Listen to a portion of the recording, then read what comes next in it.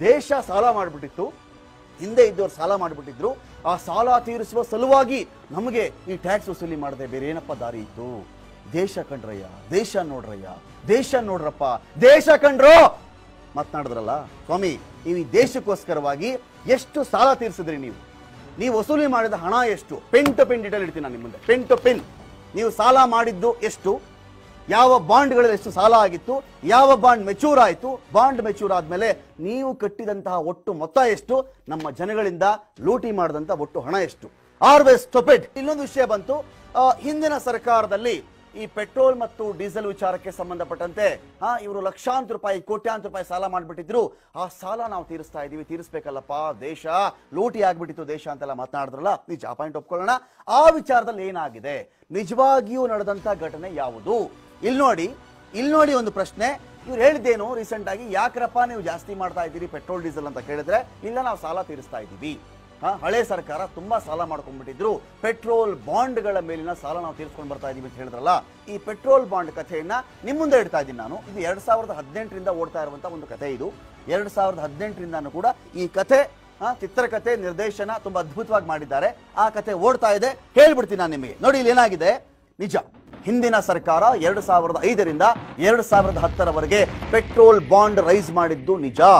ನೋಡಿ, ಇಲ್ಲೇನಾಗಿದೆ ನಮ್ಮ ದೇಶದಲ್ಲಿ? ಶೇಕಡ ಇಪ್ಪತ್ತೈದರಷ್ಟು ಜನರಿಗೆ ಊಟ ಇಲ್ಲ. ಇವ್ರು ಮಾತನಾಡೋದು, ನಾನು ಊಟ ಹಾಕ್ತಾ ಇದ್ದೀನಿ, ದೇಶವನ್ನು ಕಟ್ತಾ ಇದ್ದೀನಿ, ಅಲ್ಲಿ ರೋಡ್ ಕಟ್ತಾ ಇದ್ದೀನಿ, ಇಲ್ಲಿ ಅದು ಕಟ್ತಾ, ಇದು ಕಟ್ತಾ ಇದ್ದೀನಿ ಅಂತ ಮಾತನಾಡ್ತಾರಲ್ಲ ಇವರು. ವಿಶ್ವದಲ್ಲಿಯೇ ಅತಿ ಹೆಚ್ಚು ಅತಿ ಹೆಚ್ಚು ತೆರಿಗೆಯನ್ನ ಈ ಪೆಟ್ರೋಲ್, ಡೀಸೆಲ್ ಮತ್ತು ಗ್ಯಾಸ್ಗೆ ಪೇ ಮಾಡ್ತಿರುವಂತಹ ಒಂದು ರಾಷ್ಟ್ರ ಅಂತ ಹೇಳಿದ್ರೆ ಅದು ಭಾರತ. ಈ ದೇಶದಲ್ಲಿ ಇಪ್ಪತ್ತೈದು ಪರ್ಸೆಂಟ್ ಜನಕ್ಕೆ ಎರಡು ಹೊತ್ತು ಸರಿಯಾಗಿ ಊಟ ಇಲ್ಲ. ಇಂತಹ ರಾಷ್ಟ್ರದಲ್ಲಿ ತೆರಿಗೆ ಮಾತ್ರ ಇಷ್ಟು ವಸೂಲಿ ಮಾಡ್ತಾ ಇದ್ದಾರಲ್ಲ. ಹಾಗಾದ್ರೆ ತೆರಿಗೆ ವಸೂಲಿ ಮಾಡಿಕೊಂಡಿದ್ರು ಕೂಡ ಇಷ್ಟು ಸಮಸ್ಯೆ ಬಗೆಹರಿಸಿದ್ರ? ನೋಡಿ, ಪೆಟ್ರೋಲ್, ಡೀಸೆಲ್ ಮೇಲೆ ಏಳು ವರ್ಷಗಳಲ್ಲಿ ಶೇಕಡ ನಾಲ್ಕು ನೂರ ಐವತ್ತೊಂಬತ್ತರಷ್ಟು ತೆರಿಗೆಯನ್ನ ಇವರು ಜಾಸ್ತಿ ಮಾಡಿದಾರಲ್ಲ ಆನ್ ವಿಚ್ ಗ್ರೌಂಡ್ ಯಾವ ಆಧಾರದ ಮೇಲೆ ಜಾಸ್ತಿ ಮಾಡಿದ್ರು? ದೇಶದಲ್ಲಿ ತಲಾ ಆದಾಯ ರಾಷ್ಟ್ರೀಯ ಆದಾಯ ಎಷ್ಟು ಮಟ್ಟದಲ್ಲಿ ಜಾಸ್ತಿ ಆಗಿಬಿಟ್ಟಿದೆ? ಈ ತಲಾ ಆದಾಯ ರಾಷ್ಟ್ರೀಯ ಆದಾಯ ಎಷ್ಟು ಮಟ್ಟಿಗೆ ಜಾಸ್ತಿ ಆದ ಮೇಲೆ ಇಷ್ಟು ತೆರಿಗೆ ನೀವು ಜಾಸ್ತಿ ಮಾಡಿದ್ರು? ಇಪ್ಪತ್ತೈದು ಪರ್ಸೆಂಟ್ ಜನ ಉಪವಾಸ ಮಾಡ್ತಾ ಇದ್ದಾರಲ್ಲ, ಈ ತೆರಿಗೆ ಹಣ ಹಾಗಾದ್ರೆ ಏನಾಗ್ತಾ ಇದೆ? ಕೇಳಬಾರ್ದ ನಾವು. ಎಲ್ಲಿ ಹೋಗ್ತಿದ್ಯಪ್ಪ ಈ ತೆರಿಗೆ ಹಣ? ನೀವೇನು ರೋಡ್ ಮಾಡ್ತೀವಿ ಅಂತೀರಿ? ಟೋಲ್ ವಸೂಲಿ ಮಾಡ್ಕೊಳ್ತೀರಿ, ಅಲ್ವಾ? ರೋಡ್ ಮಾಡ್ತಾರೆ ಇವರು, ಟೋಲ್ ವಸೂಲಿ ಮಾಡ್ತಾರೆ. ಈಗ ವ್ಯಾಕ್ಸಿನ್ ಕೊಡ್ತೀವಿ ಅಂತ ಮಾತನಾಡಿದ್ರು ಜಿ ಎಸ್ ಟಿ ಹಾಕೊಂಡಿದ್ರು. ಯಾವ್ದು ಔಷಧಿ ಕೊಡ್ತೀವಿ ಅಂತಾರೆ, ಅದ್ರ ಮೇಲೆ ಒಂದಷ್ಟು ಜಿ ಎಸ್ ಟಿ ಇರುತ್ತೆ. ಏನೇ ಕೊಂಡ್ಕೊಳ್ಳಿ ಜಿ ಎಸ್ ಟಿ ಇರುತ್ತೆ. ಅಡುಗೆ ಎಣ್ಣೆ. ಐದು ವರ್ಷ ಹಿಂದೆ, ಐದು ವರ್ಷ ಇವಾಗ ಲೆಕ್ಕ ಹಾಕೊಂಡ್ಬಿಟ್ರೆ, ಎರಡು ಪ್ಯಾಕೆಟ್ ಏನಾದ್ರು ಬಿಲ್ ಇದ್ರೆ ಬಿಲ್ ಲೆಕ್ಕ ಹಾಕೊಂಡ್ಬಿಡಿ ಡಬಲ್ ಆಗಿದೆ. ಹೀಗಿದ್ದಾಗ ನಮ್ಮ ಹಣ ಏನಾಗ್ತಾ ಇದೆ? ನಮ್ಮ ತೆರಿಗೆ ಹಣ ಎಲ್ಲಪ್ಪ ಹೋಗ್ತಾ ಇದೆ ಕೇಳಬೇಕಲ್ವಾ ನಾವು? ಇಲ್ಲಿದೆ ಇಂಟ್ರೆಸ್ಟಿಂಗ್ ಪಾಯಿಂಟ್ ನಾವು ಹೇಳ್ತೀವಿ. ಕೇಳಿದಾಗ ಇವರು ಮಾತನಾಡಿದಂತ ಮಾತೇನು ಅಂತ ಹೇಳಿದ್ರೆ ತುಂಬಾ ಆಶ್ಚರ್ಯಕರ ರೀತಿಯಲ್ಲಿ, ನೋಡಿ, ಹಿಂದಿನ ಸರ್ಕಾರ ಎರಡ್ ಸಾವಿರದ ಐದರಿಂದ ಎರಡ್ ಸಾವಿರದ ಹತ್ತರ ಅವಧಿಯಲ್ಲಿ ಈ ಪೆಟ್ರೋಲಿಯಂ ಉತ್ಪನ್ನಗಳ ಬೆಲೆ ಜಾಸ್ತಿ ಆದ ಕಾರಣದಿಂದ ಏನಾಗ್ತಾ ಇತ್ತು? ಎಪ್ಪತ್ತೈದರಿಂದ ಎಂಬತ್ತು, ಎಂಬತ್ತೆರಡು ರೂಪಾಯಿಗೆ ಪೆಟ್ರೋಲ್ ಬಂದುಬಿಟ್ಟಿತ್ತು. ಆ ಕಾರಣಕ್ಕೆ ಏನ್ ಮಾಡಿದ್ರು ಅವರು? ಪೆಟ್ರೋಲಿಯಂ ಉತ್ಪನ್ನ ಮಾಡ್ತಕ್ಕಂಥ ಕಂಪನಿಗಳು ಇರ್ತಾವಲ್ಲ ಉತ್ಪಾದನೆ ಮಾಡುವ ಕಂಪನಿಗಳಿಗೆ, ಅವರಿಗೆ ಒಂದು ಬಾಂಡ್ ಅಂತ ರಿಲೀಸ್ ಮಾಡಿದ್ರು. ಹಣ ಕೊಡಲಿಲ್ಲ ಅವ್ರಿಗೆ, ಬಾಂಡ್ ಅಂತ ರಿಲೀಸ್ ಮಾಡಿದ್ರು. ನೋಡಪ್ಪ, ಈ ಬಾಂಡ್ ಕೊಡ್ತಾ ಇದ್ದೀನಿ ನಾನು ನಿಮಗೆ. ಸದ್ಯಕ್ಕೆ ಇಷ್ಟು ಹಣವನ್ನು ನಾವು ಕೊಡುವ ಸ್ಥಿತಿಯಲ್ಲಿ ನಾವಿಲ್ಲ. ಜನಗಳು ಕಷ್ಟ ಆಗ್ತಾ ಇದೆ. ಅವರಿಗೆ ಸಬ್ಸಿಡಿ ಕೊಡಬೇಕು ನಾನು ಅಂತ ಹೇಳಿ ಒಂದು ಪಾಯಿಂಟ್ ನಾಲ್ಕು ನಾಲ್ಕು ಲಕ್ಷ ಕೋಟಿ ರೂಪಾಯಿಗಳ ಬಾಂಡ್ ಅನ್ನ ರಿಲೀಸ್ ಮಾಡ್ತಾರೆ ಇವರು. ಈ ಬಾಂಡ್ ಇಟ್ಕೊಳ್ಳಿ, ಈ ಪೇಪರು. ನಾನೇ ನಿಮ್ಗೆ ಗ್ಯಾರಂಟಿ ಕಂಡ್ರಪ್ಪ ಇದಕ್ಕೆ. ಇದು ಗ್ಯಾರಂಟಿ ಅಂದ್ರೆ ಸರ್ಕಾರ ಗ್ಯಾರಂಟಿ ಅಂತ. ಸರ್ಕಾರ ಯಾವುದೇ ಬರಲಿ ಆಮೇಲೆ ಆದ್ರೂ ಬರಲಿ, ಅದಕ್ಕೆ ಮುಂಚೆ ಆದ್ರೂ ಇರಲಿ, ಸರ್ಕಾರ ಗ್ಯಾರಂಟಿ ಅಂದ್ರೆ ಗ್ಯಾರಂಟಿ ಅಷ್ಟೇ ಕೊಟ್ರು ಬಾಂಡ್ ಅನ್ನ ಆಯ್ತು ಸ್ವಾಮಿ, ನೀವು ಹೇಳ್ತಾ ಇದ್ರಿ, ಕೊಡ್ತಾ ಇದೀವಿ ಅಂತ ಹೇಳಿ ಅಂತಾರಾಷ್ಟ್ರೀಯ ಮಟ್ಟದಲ್ಲಿ ತೈಲೋತ್ಪನ್ನಗಳ ಬೆಲೆ ಜಾಸ್ತಿ ಇದ್ದಾಗಿಯೂ ಕೂಡ ಒಂದು ಎಪ್ಪತ್ತೈದು ರೂಪಾಯಿ ಎಂಬತ್ತು ರೂಪಾಯಿಗೂ ಇಳಿಸಲಿಕ್ಕೆ ಅಲ್ಲೇ ಉಳಿಸಿಕೊಳ್ಳಿಕ್ಕೆ ಈ ಬಾಂಡ್ಗಳು ನೆರವಿಗೆ ಬಂದವು. ಎರಡ್ ಸಾವಿರದ ಹತ್ತಾದ್ಮೇಲೆ ಬಾಂಡ್ ಕೊಡೋದು ಸ್ಟಾಪ್ ಮಾಡ್ಬಿಡ್ತಾರೆ ಇವರು. ಸಾಕಿ ಬಾಂಡ್ ಕೊಡೋದು ಬೇಡ. ಇನ್ಮೇಲೆ ಕೊಡೋದೇನಿದ್ರು ಕೂಡ ಹಣದ ರೂಪದಲ್ಲೇ ಕೊಡ್ತೀವಿ ಅಂತ. Between two thousand five two thousand ten ಇತ್ತಲ್ಲ, ಈ ಟೈಮಲ್ಲಿ ಹಣ ಇರಲಿಲ್ಲ. ಗ್ಯಾರಂಟಿ ಕೊಡ್ತೀನಪ್ಪ, ತೀರಿಸ್ತೀನಿ ನಾನು. ನೀನ್ ತಲೆ ಕೆಡಿಸ್ಕೊಬೇಡ ಅಂತ ಹೇಳಿದ್ರು. ಎರಡ್ ಸಾವಿರದ ಹತ್ತು ಆದ್ಮೇಲೆ ಹಣದ ರೂಪದಲ್ಲಿಯೇ ಅವ್ರದ್ದೇನು ಮಾರಾಟ ಇತ್ತು, ಏನು ತೆರಿಗೆ ಕಟ್ಟಬೇಕಾಗಿತ್ತು ಎಷ್ಟು ಹಣ ಕೊಡಬೇಕಾಗಿತ್ತು ಅದನ್ನು ಕೊಟ್ಟರು ಈಗೇನಾಗಿದೆ? ಈ ವಿಚಾರಕ್ಕೆ ಸಂಬಂಧಪಟ್ಟಂತೆ ಆ ಸಾಲ ಎಲ್ಲ ತೀರಿಸಬೇಕು. ಎಷ್ಟು? ಒಂದು ಪಾಯಿಂಟ್ ನಾಲ್ಕು ನಾಲ್ಕು ಲಕ್ಷ ಕೋಟಿ.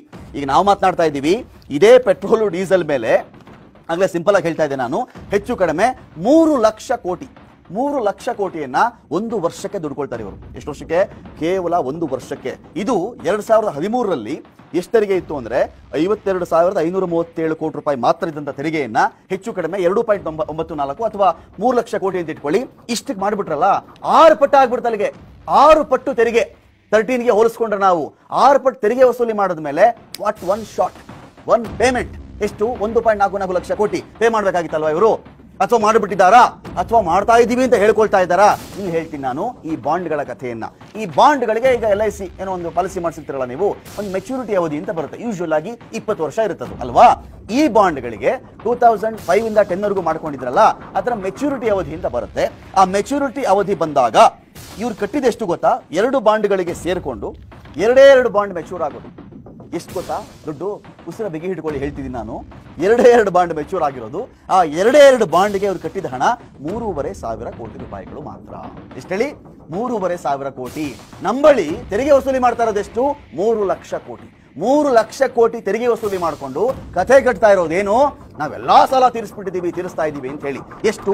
ಒಂದು ಬಾಂಡ್ ಸಾವಿರದ ಏಳ್ನೂರ ಐವತ್ತು ಕೋಟಿ ರೂಪಾಯಿಗಳ ಒಂದು ಬಾಂಡ್. ಇನ್ನೊಂದು ಬಾಂಡು ಸಾವಿರದ ಏಳ್ನೂರ ಐವತ್ತು ಕೋಟಿ ರೂಪಾಯಿಗಳ ಇನ್ನೊಂದು ಬಾಂಡ್. ಎರಡು ಬಾಂಡ್ ಸೇರಿಸ್ಕೊಂಡ್ರೆ ನಿಮಗೆ ಮೂರುವರೆ ಸಾವಿರ ಕೋಟಿ ಆಗುತ್ತೆ. ಅದನ್ನ ನೀವು ಕಟ್ಟಿದ್ದಾರೆ. ಎಸ್ ಕಟ್ಟಿರೋದು ನಿಜ. ವಸೂಲಿ ಮಾಡಿದಿವರು ಮೂರು ಲಕ್ಷ ಕೋಟಿ. ಅಲ್ಲಿ ಉಜ್ವಲ ಕತೆ ಹೇಳಿದ್ರಲ್ಲ, ಎಲ್ಲಾ ಬಡವ್ರು ನಾವು ಕೊಡ್ತಾ ಇದೀವಿ ಹಾಗೆ ಹೀಗೆ ಅಂತ ಹೇಳಿ ಬಡವ್ರ ಹೆಸರು ಹೇಳೋದು, ಅಲ್ಲೊಂದು ಸ್ಯಾಂಪಲ್ ಸೈಜ್ ತೋರಿಸೋದು, ಎಲ್ಲರ ಬಳಿ ಚಂದ ಎತ್ತು ಬಿಡೋದು ಎಲ್ಲರ ಬಳಿ ವಸೂಲಿ ಮಾಡಿಬಿಡೋ ತೆರಿಗೆಯನ್ನ ಮಾಡಿಬಿಟ್ಟು ಅಲಕ್ ನಿರಂಜನ್ ಅಂತ ಕುತ್ಕೊಂಡ್ಬಿಡೋದು. ಇದಲ್ಲ.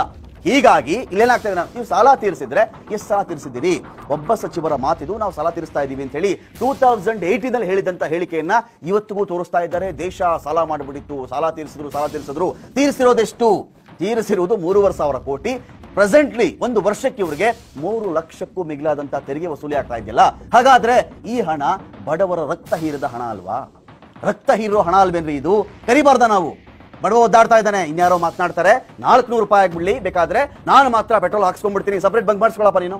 ಸಪ್ರೇಟ್ ಬಂಕ್ ಮಾಡಿಸ್ಕೊಂಡ್ಬಿಡು ನೀನು. ಈ ಬಂಕ್ ತಲೆನೂ ಹಾಕ್ಬೇಡ ನೀನು. ಇದು ಬಡವರು ಬಂಕ್ ಇದು. ಬಡವರು ಒದ್ದಾಡ್ತಾ ಇದಾರಲ್ಲ ಆ ಬಂಕು. ಅಲ್ಲ, ಅವ್ರು ಬಡವರು ಮಾತ್ರ ಹಾಕ್ಸ್ಕೊಳ್ಳಿ. ನಿನಗೆ ಬೇಕಿದ್ರೆ ಅಥವಾ ಇನ್ನೊಂದು ಕೆಲಸ ಮಾಡು. ಈ ಬಂಕ್ಗೆ ಬಂದರೂ ಕೂಡ ಈ ಬಂಕಲ್ಲಿ ನೀನು ನಾನ್ನೂರು ರೂಪಾಯಿ ಕೊಡು ಬಂತಿದ್ರೆ ಬೇರೆ ನಾಲ್ಕು ಗಾಡಿಗಳಿಗೆ ನೂರು ನೂರು ರೂಪಾಯಿ ಅಂತ ನಾಲ್ಕು ಲೀಟರ್ ಪೆಟ್ರೋಲ್ ಆದ್ರೂ ಹಾಕ್ಸಪ್ಪ. ಅಲ್ವಾ? ಕೇಳ್ಬೇಕು ನಾವು. ಅಮ್ಮಂದ್ರಿಗೆ ಗೊತ್ತಾಗುತ್ತಿದ್ದು ಸಿಲಿಂಡರ್ ಬೆಲೆ ಅವ್ರಿಗೆ ಏನಾಗಿದೆ ಅಂತ ಹೇಳಿ. ಇದ್ರ ಆಚೆಗೆ ಇನ್ನೊಂದೇನ್ ಮಾಡ್ತಾರೆ ಇವರು?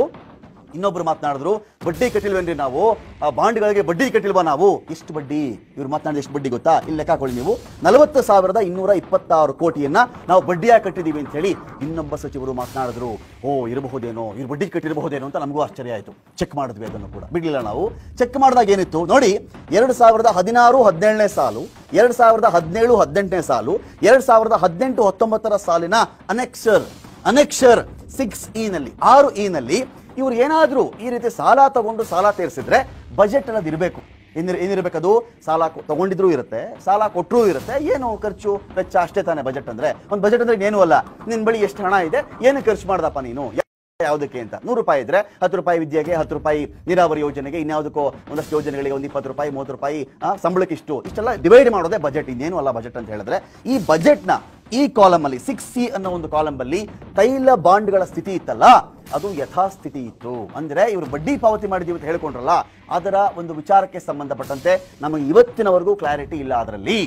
ಒಂದು ವೇಳೆ ಆಯ್ತಪ್ಪ, ನೀವು ಬಡ್ಡಿ ಕಟ್ಟಿದ್ರಿ ಅಂದ್ರೆ ಇಟ್ಕೊಂಡ್ಬಿಡೋಣ. ನಲವತ್ತು ಸಾವಿರದ ಇನ್ನೂರ ಇಪ್ಪತ್ತಾರು ಕೋಟಿ ಬಡ್ಡಿ ಕಟ್ಟಿದ್ರ ನೀವು? ಬಡ್ಡಿ ಕಟ್ಬಿಟ್ಟಿದ್ದೀರಿ ಅಲ್ವಾ ನೀವು? ದೇಶ ಸಾಲ ಅಲ್ವಾ ನೀವು? ದೇಶವನ್ನ ರಕ್ಷಣೆ ಮಾಡಿದ್ರಲ್ವಾ ನೀವು? ಹಾಗಾದ್ರೆ ಹಾಗಾದ್ರೆ ಪ್ರತಿ ವರ್ಷಕ್ಕೆ ಮೂರು ಲಕ್ಷ ಕೋಟಿ, ಒಂದು ಹಿಂದಿನ ವರ್ಷಕ್ಕೆ ಒಂದು ಎರಡೂವರೆ ಲಕ್ಷ ಕೋಟಿ ಇಟ್ಕೊಳ್ಳೋಣ. ಆದರೆ ಹಿಂದಿನ ವರ್ಷಕ್ಕೆ ಬೇಕಾದ್ರೆ ಎರಡು ಲಕ್ಷ ಕೋಟಿ ಇಟ್ಕೊಂಡ್ಬಿಡೋಣ. ಇಷ್ಟು ವರ್ಷಗಳಿಂದ ಕೋಟಿಗಟ್ಟಲೆ ತೆರಿಗೆ ವಸೂಲಿ ಮಾಡಿದ್ರಲ್ಲ, ಲಕ್ಷ ಲಕ್ಷ ಕೋಟಿಗಳಲ್ಲಿ ಈ ಹಣ ಏನಾಯ್ತು? ಕೇಳಬಾರ್ದ ನಾವು? ಆರ್ ವಿ ಸ್ಟುಪಿಡ್ ಎಷ್ಟು ದಿನ ಈ ದೇಶದ ಹೆಸರಲ್ಲಿ ಮೋಸ ಮಾಡ್ಲಿಕ್ಕೆ ಸಾಧ್ಯ ರೀ? ಏನು ಕೇಳಿದ್ರು ದೇಶ ಅಂತೀರಿ? ಏನು ಕೇಳಿದ್ರು ವ್ಯಾಪಾರ, ನಾವು ವ್ಯಾಪಾರ ಮಾಡಲ್ಲ, ನಾವು ಬಿಸ್ನೆಸ್ ಮಾಡಲ್ಲ ಅಂತೀರಿ? ಖಾಸಗಿ ಅವ್ರ ಕಡೆ ಕೊಟ್ಬಿಟ್ಟಿದ್ದೀರಿ. ಉಳ್ಕೊಂಡಿರೋದು ಪೆಟ್ರೋಲು ಡೀಸೆಲು ಈ ಗ್ಯಾಸು, ಇದ್ರ ಮೇಲೆ ಮನಸ್ಸಿಗೆ ನಿಮ್ಗೆ ಏನು ತೀರ್ಮಾನ ಬರುತ್ತೋ ಆ ತೀರ್ಮಾನದ ಪ್ರಕಾರವಾಗಿ ನೀವು ಜಾಸ್ತಿ ಮಾಡ್ತಾ ಹೋದ್ರೆ ದೇಶದ ಬಡವ ಎಲ್ಲಿಗೆ ಹೋಗ್ಬೇಕು? ಅಲ್ಲಿ ಹದಿನೈದು ಸಾವಿರ ಕೋಟಿ ವ್ಯಾಕ್ಸಿನ್ದು ಉತ್ತರ ಬಂದಿಲ್ಲ ನಿಮ್ ಕಡೆಯಿಂದ. ಏನ್ ಮಾಡಿದ್ರಿ ಅದನ್ನ? ಅದನ್ನೇನ್ ಮಾಡ್ತಾ ಇದ್ದೀರಿ? ಅದ್ರ ಮೇಲೆ ಯಾಕೆ ಟ್ಯಾಕ್ಸ್ ಹಾಕೊಂಡು ಕೂತಿದ್ದೀರಿ? ಈ ಕಡೆ ಬಂದ್ರೆ ಈ ಪೆಟ್ರೋಲ್ ವಿಚಾರಕ್ಕೆ ತಂದು ನಿಲ್ಸಿದ್ದೀರಿ. ಈಗ ಕೇಳಿದ್ರೆ ಇನ್ ಮೇಲೆ ಎಲ್ಲೂ ಕೂಡ ನೀವು ಚಕಾರ ಎತ್ತಬಾರ್ದು. ನಾವು ಸಾಲ ತೀರಿಸ್ತಾ ಇದೀವಿ, ಸಾಲ ತೀರಿಸ್ತಾ ಇದೀವಿ. ಒಂದು ವೇಳೆ ಇಡೀ ಅಂಕಿಅಂಶಗಳು ಸುಳ್ಳಾದ್ರೆ, ಇಡೀ ಅಂಕಿಅಂಶಗಳು ಸುಳ್ಳಾದ್ರೆ ನಾಳೆ ಬೆಳಿಗ್ಗೆಯೇ ಇದಕ್ಕೆ ಸಂಬಂಧಪಟ್ಟಂತೆ ನಿಮ್ಮ ಬಳಿ ಡೇಟಾ ಇದ್ರೆ, ನೀವು ಸಾಲ ತೀರಿಸಿದ್ರೆ ಯಾವ ದೇಶಕ್ಕೆ ಎಷ್ಟು ಸಾಲ, ಯಾವ ತೈಲೋತ್ಪನ್ನ ಕಂಪನಿಗಳಿಗೆ ಎಷ್ಟು ಸಾಲ, ಯಾವ ಬಾಂಡ್ ಕಥೆ ಏನು, ನೀವು ಹೇಳ್ಬೇಕು ನಮಗೆ. ಇಲ್ಲಿವರೆಗೂ ಮೆಚೂರ್ಡ್ ಆಗಿರೋದು ಎರಡೇ ಬಾಂಡು. ಆ ಎರಡು ಬಾಂಡ್ನ ಒಟ್ಟು ಮೊತ್ತ ಮೂರು ಸಾವಿರದ ಐನೂರು ಕೋಟಿ. ಮುಂದಿನ ಒಂದು ಬಾಂಡ್ ಮೆಚೂರ್ಡ್ ಆಗುತ್ತೆ ಎರಡು ಸಾವಿರದ ಇಪ್ಪತ್ತೊಂದು ಅಕ್ಟೋಬರ್ಗೆ. ಅದು ಇಷ್ಟೋ ಎಷ್ಟೋ ಅಷ್ಟು ಅಮೌಂಟ್ ಇರುತ್ತೆ ಅಷ್ಟೇನೆ. ಅದೊಂದು ಜಾಸ್ತಿ ಇರಲಿಕ್ಕಿಲ್ಲ. ಹಾಗಿದ್ದಾಗ ನಮ್ಮ ಬಳಿಯಲ್ಲಿ ಹಗಲು ದರೋಡೆ ಯಾಕೆ?